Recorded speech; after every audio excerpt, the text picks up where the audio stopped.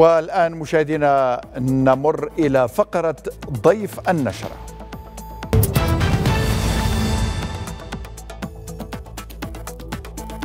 جدد رئيس الجمهورية الفرنسية مانويل ماكرون التأكيد بقوة على دعم فرنسا لسيادة المغرب على صحرائه وذلك خلال جلسة مشتركة لغرفتي البرلمان المغربي. لمناقشة هذا الموضوع معنا مباشرة من الرباط ليلى أرطيمات أستاذة العلاقات الدولية بجامعة الحسن الأول. سيدة ليلى مرحبا بك. مرحبا أستاذ مرحبا بمشاهدينا الكرام على قناة ميديا.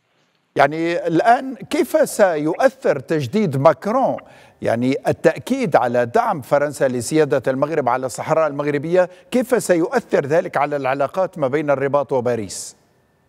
أكيد توقيع اتفاقيات في حدود 22 اتفاقية وبمبلغ يناهز عشرة مليارات أورو سيشكل يعني نقلة نوعية. وكما قالها ماكرون في خطاب البارحة في أمام ممثلي الأمة بأن سيتم طي صفحة الماضي وبداية كتاب جديد.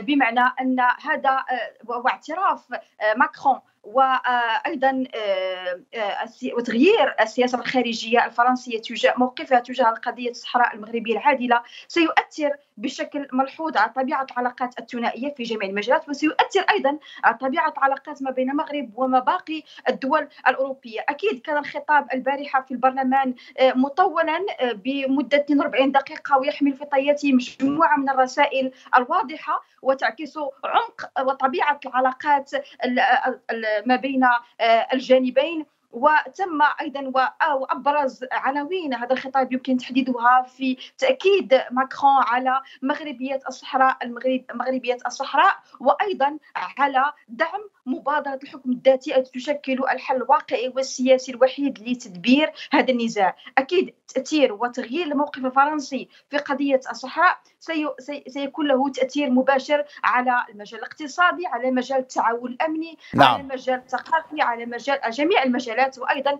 كما طيب. قلت سابقا نعم تفضل. آه يعني عذرا للمقاطعة آه سيدة ليلى يعني نبقى آه في سياق الحديث عن يعني الموقف الفرنسي الداعم لسيادة المغرب على الصحراء المغربية. يعني كيف يمكن أن يؤثر هذا الموقف الفرنسي على مواقف دول أوروبية أخرى من قضية الصحراء؟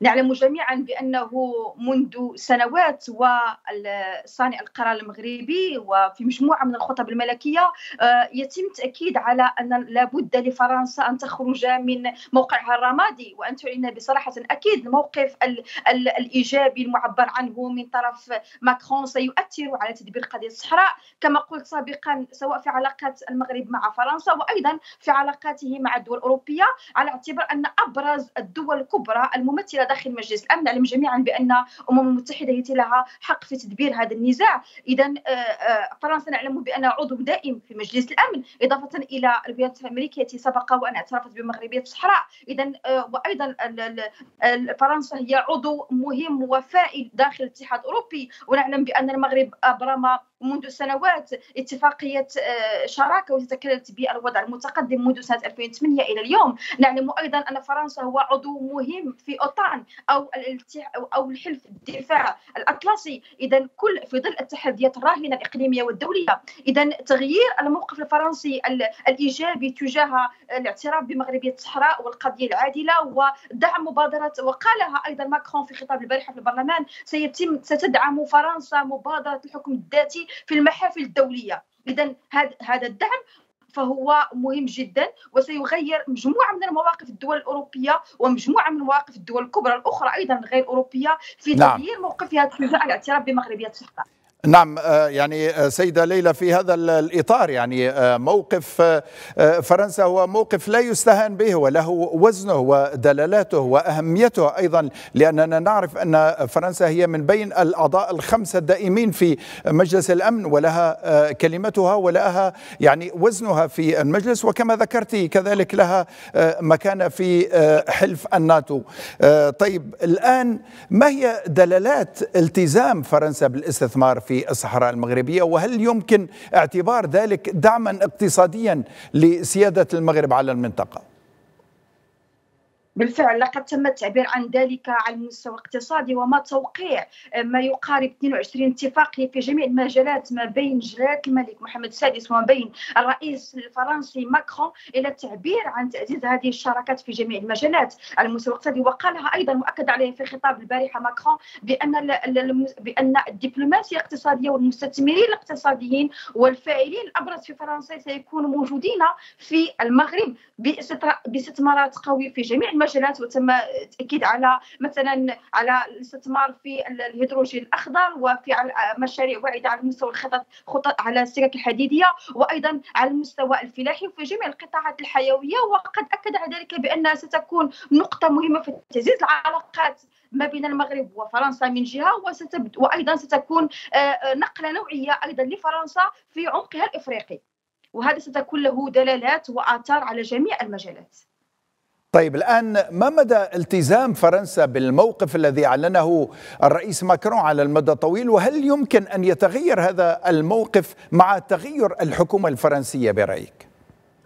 اذا جرت العادة بأن آه، آه، مبدئيا قبل التأكيد على هذه النقطة المهمة التي ذكرتها آه، نعم. بأن مجال السياسة الخارجية الفرنسية وسميت بزيارة الدولة وهي من أرقى الزيارات بمعنى بأن سواء ظل ماكرون على سدة الحكم ورئيس للجمهورية الفرنسية أو تم تغيير تغيير برئيس آخر فلن يتم آه، آه، أكيد تعديل أو تغيير في الموقف الفرنسي. فالموقف الفرنسي هو ثابت وما تأكيد على نوع هذه الشراكة وسميت بالشراكة الاستراتيجيه الاستثنائية إلى التاكيد على الموقف الثابت للجمهورية الفرنسية وأيضا يعتبر هذا حدث جد مهم كما قلت بأنه في مجموعة من الخطاب الملكية قبل سنوات وهي من ضمن مكتسبات الدبلوماسية المغربية تم النضال من أجل اعتراف فرنسا بمغرب الصحراء ودعم الحكم الذاتي. اذا أعتقد بأن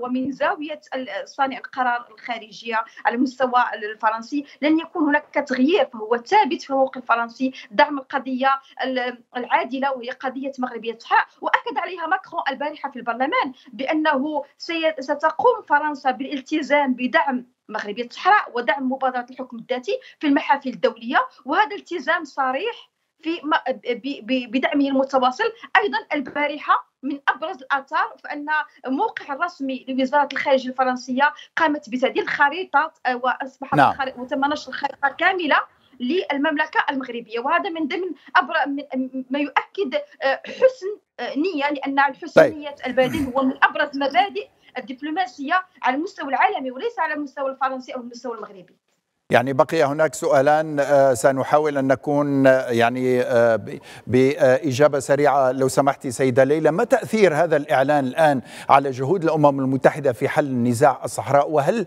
سيعزز من فرص الوصول إلى حل سياسي برأيك؟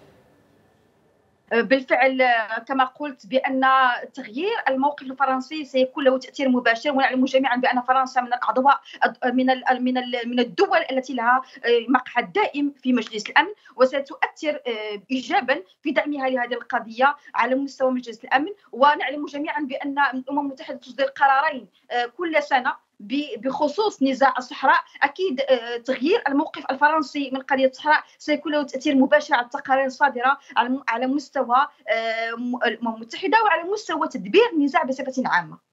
نعم في ظل كل ما يعني جرى خلال هذه زيارة زيارة الدولة التي قام بها ماكرون للمغرب لحد الآن كيف ينظر الآن المغرب إلى هذا الدعم الفرنسي؟ وهل يشير إلى مرحلة جديدة في العلاقات الاستراتيجية بين البلدين؟ بالفعل تأكيد آه، أعلى قائد في الدولة آه، جلاله الملك محمد السادس ورئيس ماكرون. أثناء توقيعهما على 22 اتفاقية على أنه سيتم وعلى حسب آه، خطاب ماكرون البارحة سيتم طبي صفحة الماضي وبداية كتابة اذا كتاب جديد بشراكة كما قلت استراتيجيه استثنائية على جميع المجالات. وتم التعبير عن ذلك في مجموعة من تم التعبير ذلك من الاتفاقيات إلى تعبير صريح عن هذه الشراكة الاستراتيجية الاستثنائية بين الجانبين التي تشمل جميع المجالات المجال الأمني من من من مواجهة التحديات الأمنية المشتركة وتم التأكيد على نقطة جد مهمة وهو تحت المسؤولية المشتركة. لم يعد هناك نظر إلى زاوية أحادية طرف آه، أصبحت المسؤولية مشتركة نعم. مسؤولية مشتركة بين الجانبين. نعم. من الرباط ليلى أرطيمات أستاذة العلاقات الدولية بجامعة الحسن الأول. شكرا جزيلا لك على كل هذه التوضيحات والإضاءات حول موضوعنا اليوم.